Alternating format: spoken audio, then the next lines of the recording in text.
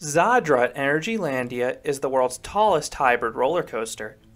Built by Rocky Mountain Construction, Zadra is the company's first hybrid coaster that didn't reuse a former coaster's support structure. While the ride has the company's trademark smoothness and incredible elements, Zadra's pacing blew me out of the water.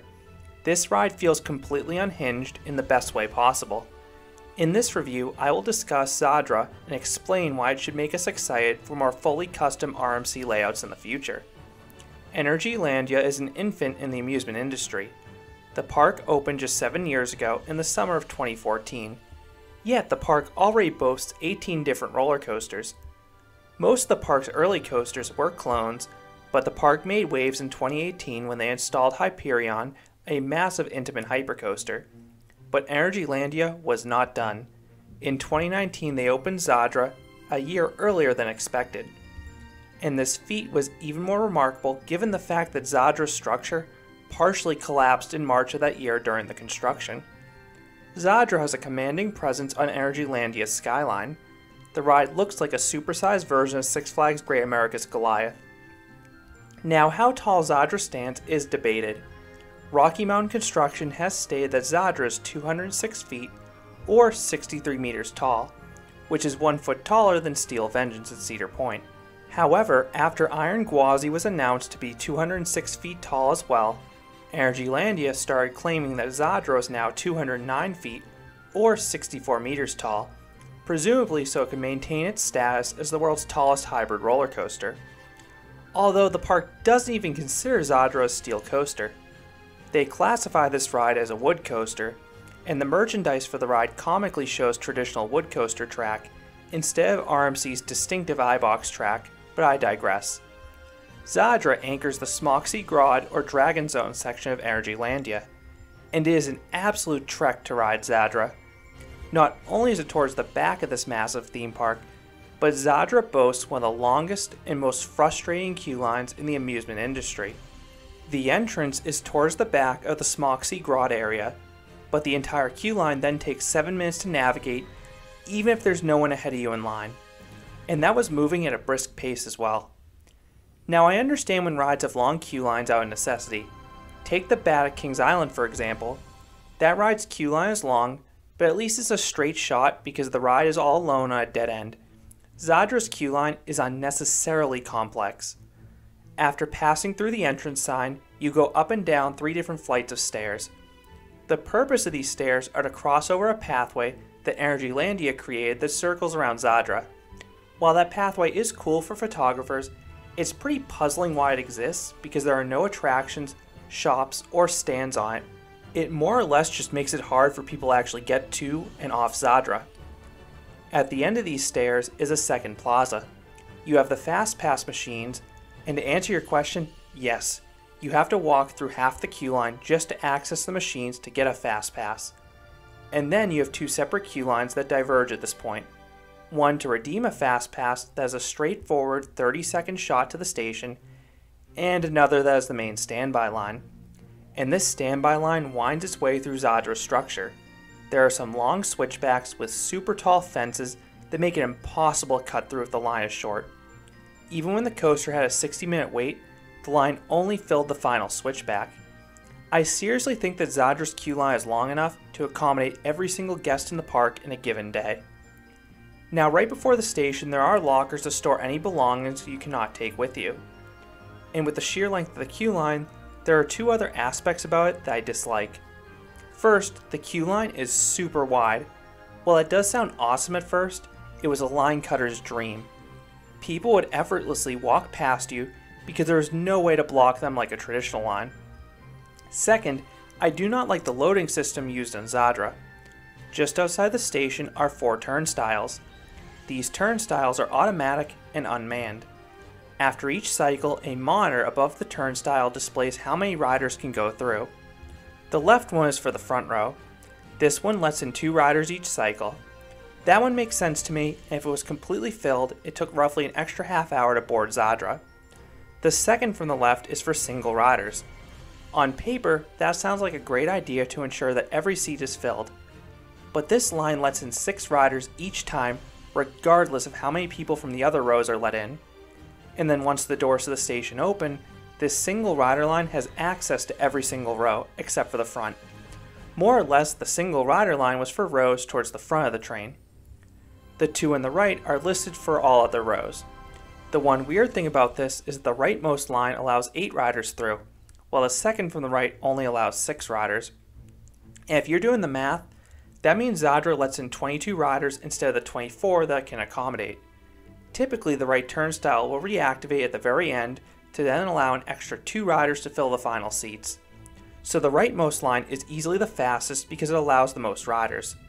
This is the same turnstile system that was also used on Hyperion. When the doors opened, it was a scramble to get the row you wanted and keep your group together. The back was my favorite row in Zadra, so I typically would wait at the turnstile so I was the first one through, which made me the first one at the door. This maximized my odds of getting the back row. I thought the back was the best seat for forces, but the front was great to experience a few times as well for the superior sense of speed. While the loading procedure is chaos, the restraint check process is like a well oiled machine. If you've ever ridden an RMC, you know these trains are a royal pain to check.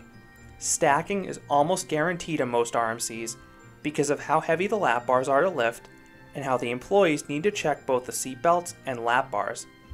I'm shocked and proud to say that I never saw Zadra's crew stack once over the course of three days, which is downright remarkable. Zadra usually had a 5 to 6 person crew, and they wasted no time loading those trains. They would quickly check your seatbelt and lower your restraint for you.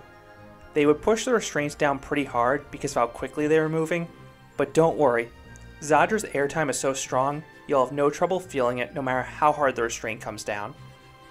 Zadra begins with a slow turn out of the station, and then you ascend the massive lift hill. This lift hill faces away from the park, so the only view you get is of the new Aqualantis area and the surrounding village. Once atop the lift, you plunge down the 90 degree drop. And this drop is incredible. This drop offers fantastic airtime. Those in the back get the standard great RMC ejector airtime on the drop, but it's more sustained than usual due to the drop's added height. And the drop even offers some floater airtime towards the front of the train for a change. Not only is this drop massive, but it also has an incredible head chopper at the bottom with this coaster's dense wooden support structure. Because of this structure, you cannot see the bottom of the drop from the top, which makes this drop even crazier. And it also hides the speed hill at the bottom. Like many other RMCs, Zadra is a speed hill that delivers an abrupt pop of airtime that follows the first drop. But this one is different because it twists to the right. And since this hill has barely any banking, you get a strong lateral jolt in addition to that airtime. While the speed hill on most RMCs feels like a bonus or filler element, it is a memorable moment on Zadra. It is the wildest RMC speed hill without a doubt due to those laterals. You then ascend Zadra's unique and forceful turnaround. It starts with this tight, massive upwards twist, which pulls some uncharacteristically strong positive Gs for an RMC. I would gray out in this element on every ride. At the apex, you straighten out and traverse a super tight peak. This surprisingly only offered floater airtime up front, albeit strong and sustained floater airtime. It's just rare to get that type of airtime on an RMC. But those in the back got the powerful and sustained ejector airtime that I expect. Zadra then traverses a gigantic stall below the lift hill, similar to the one on Goliath. This inversion offers a few seconds of weak and sustained hang time but what's more notable about this element are the transitions into and out of it. You are really whipped to and out of the stall, which induces some wild laterals. Zadra then flies around the second turnaround, which is a twist and shout similar to the far turnaround on Lightning Rod. This element offers a beautiful concoction of laterals and sideways ejector airtime in every seat. And it doesn't feel like you slow down one bit on this element, which makes it feel even more extreme. Zadra then twists back down to the ground and rapidly twists to the right. This fast turn offers some decent positive Gs, and those Gs continue on the sharp rise into the next camelback. I would start to see some gray on a few of my rides here. This camelback is one of the largest airtime hills that RMC has ever made and offers several seconds of sustained airtime. It feels like a weaker version of Storm Chaser's second hill.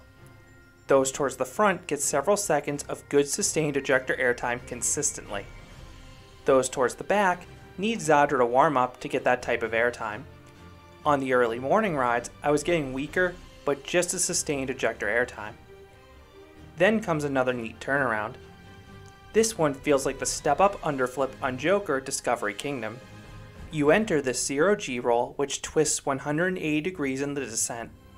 The start of this inversion offers some laterals up front and hang time in all seats. Then, when you whip downwards, you get good positive Gs. You then rise up into a double down. The front offers decent ejector pops, while the back delivers the prototypically strong RMC ejector pops. But what I found notable about this element were the surprise laterals. The first hump twists to the right, and the second subtly twists to the left. And these twists are unbanked, so you are thrown side to side along with that airtime. That's followed by my favorite part of Zadra, this extreme twisted speed hill. You haul through all of Zadra's layout, but it is especially noticeable here. This element essentially rides like one of those Intimidator 305 transitions that fling you side to side, except you get a powerful RMC ejector pop in between. This element feels completely out of control. You then zip through the ride's final inversion, a 0G roll. You have so much speed into this element that it only offers a brief moment of weak hang time. Instead, this element is more about the laterals. You then charge into the brake run with enough speed to probably go another 1,000 or 2,000 feet, so you smoothly get flung forwards from how quickly you need to decelerate Zadra navigates its 4,318 feet, or 1,316 meters of track, about as quickly as a coaster can. And when paired with a glass smooth ride, you have a recipe for a truly world class coaster. So, what would I rate Zadra? If it wasn't apparently obvious, this coaster is getting a perfect 10 out of 10. Zadra is one of the best RMCs. In fact, it's just one of the best coasters overall. This coaster has several excellent airtime and hang time moments, but it differentiates itself from the other RMCs with stronger laterals and perfect pacing. The pacing on this coaster is insane. Zadra does not give you a single moment to catch your breath, and because it wasn't using a pre-existing structure, it was designed such that it maintains its speed better. The way Zadra quickly threw elements at riders and maintained its speed reminded me of the two RMCs at the Herschend parks in Lightning Rod and Outlaw Run, both of which are also ground up layouts. While the RMC conversions are fantastic rides as well, these ground up ones feel distinctly different, and that's a good thing. I cannot wait to see more. So, those are my thoughts on Zadra, the best roller coaster Energylandia. Have you been on Zadra? How do you think it compares to the other RMCs? I would love to hear your thoughts about this incredible coaster down in the comments. If you enjoyed this review, I'd appreciate if you gave this video a like and you considered subscribing because there'll be a lot more roller coaster and amusement park videos here at Canobie Coaster. Thanks for watching.